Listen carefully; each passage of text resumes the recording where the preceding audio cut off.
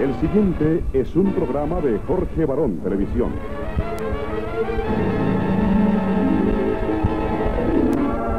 Colombiana de Televisión. Producciones Bernardo Romero Pereiro. Y Punch Televisión.